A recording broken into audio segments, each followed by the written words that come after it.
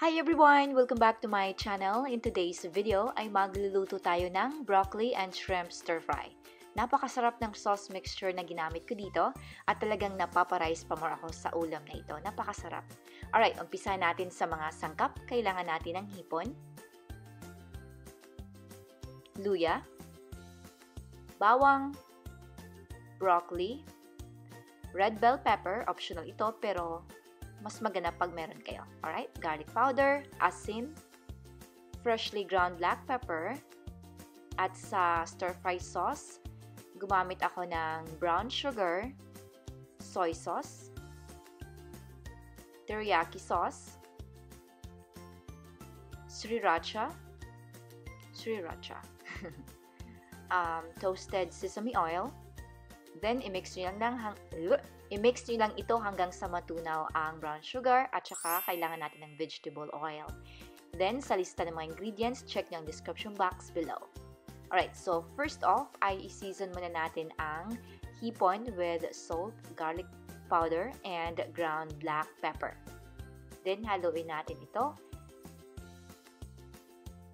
Then, iset aside natin.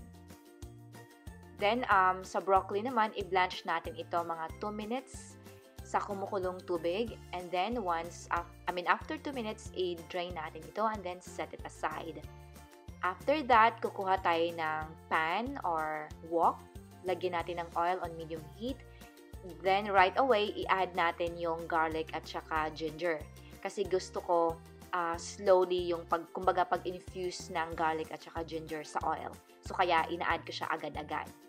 Then after about mga 3 to 4 minutes, I um, adjusted the heat into medium heat. Then, nag, um, ina-add ko na yung hipon. Sa hipon, dapat gisahin mo yan.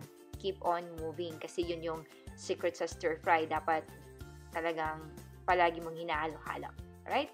Then, add natin yung broccoli at saka red bell pepper, pati na rin yung sauce. So, um, haluin lang talaga yan. And then, um, after nito, actually, um, you are, you are done. So, this is on high heat. Okay? And then, after mga about like um, 4 minutes ng paggisa-gisa niyan, turn off niyo ang heat. And then, you can serve it with steamed rice. And that's it. Thank you so much for watching.